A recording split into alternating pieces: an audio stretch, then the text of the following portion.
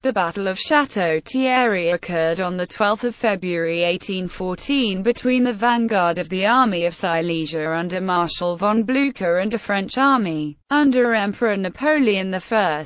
It was a French victory. Prelude After winning a series of impressive tactical victories, Napoleon sought to deal what he hoped would be a final blow to the Prussians and end their participation in the Sixth Coalition against him. Having inflicted a defeat on Fabian Osten-Sacken and Ludwig Yorck the previous day at the Battle of Montmirail, Napoleon caught the Prussian rearguard under General Yorck on the Marne River near Château-Thierry battle, sending Marshal Ney to lead the attack. The French broke into Blücher's ranks, inflicting heavy losses. Their attack was only stopped by some fortuitously placed Prussian batteries, allowing Yorck to withdraw in good order without suffering a rout. The Prussians had 1,250 casualties, the Russians 1,500, and the French 600. The French also captured nine cannons and much baggage and transport.